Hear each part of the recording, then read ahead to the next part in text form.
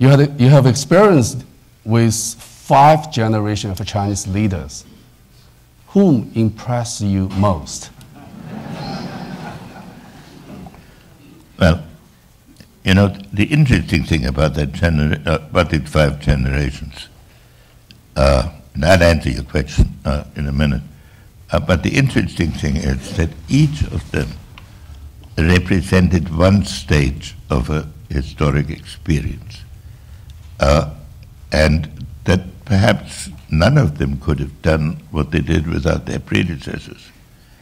Uh, so Mao was the founding father. He was the uh, person who unified the country and uh, who realized what he said in his opening statement as leader, which is China had stood up. He did it at horrendous cost and at unbelievable suffering.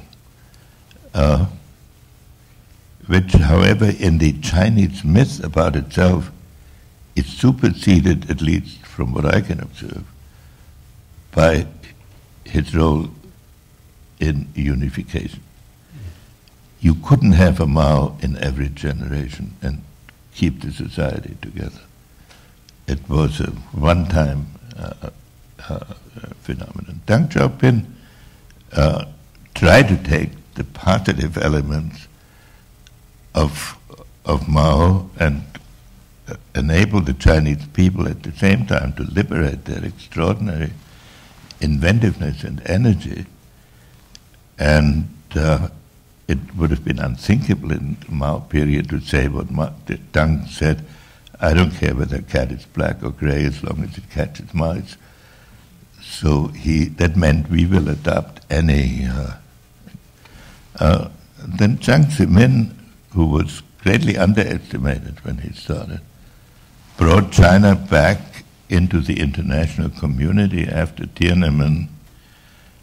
Uh, and Hu Jintao was the expression of saying, we've had enough turmoil and excitement for, for a while. Now let's steady the society.